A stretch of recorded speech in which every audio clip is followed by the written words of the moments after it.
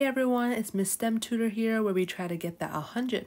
Today we're going to cover some basic derivative rules that you must know. It's going to be relatively a shorter video where we just kind of go over a list, but I'm going to tell you some tricks to memorizing these.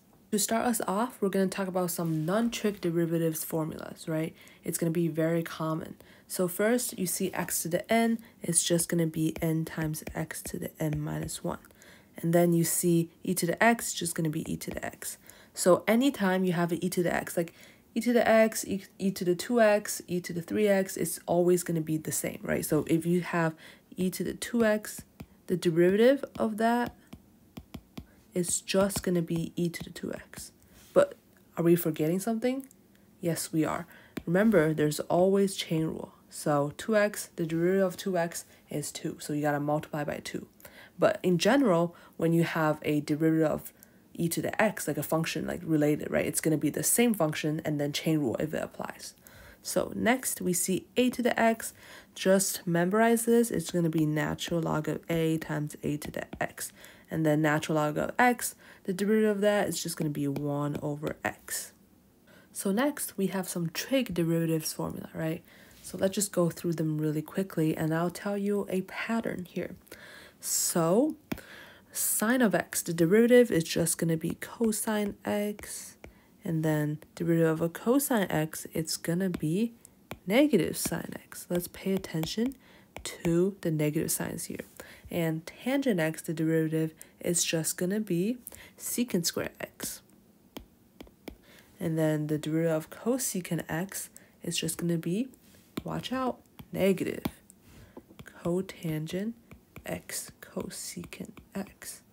And secant x, you are going to have secant x, tan x as your derivative, okay? And then the derivative of your cotangent x, lastly, it's going to be negative, and then cosecant square x. So here, do you kind of see like a pattern, right, with the negatives and what's in red? Well, let me tell you how I remember, right? Anytime I'm taking a derivative of a function that starts with a c, you see right here, I know that the derivative is going to be negative.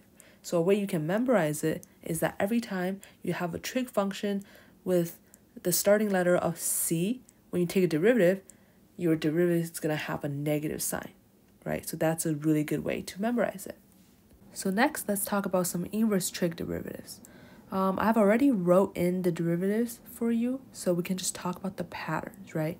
Again, C means negative, right, guys? Remember this and you'll be golden. C means negative, right? That means your derivative is going to be negative. Cool. And then next, something you should realize is that for tangent and cotangent, like arctangent and arccotangent, look at your base, right? Your base is always 1 over 1 plus x squared. Except, remember the rule, c means negative. So you just need to remember that it's always 1 over 1 plus x squared for arctan and arccotan, except that arccotan starts with the letter c, so it's going to have a negative sign. And then next, something else you should realize and notice is that like for arc sine and arc cosine, notice how they are all like 1 minus x squared and 1 minus x squared, right?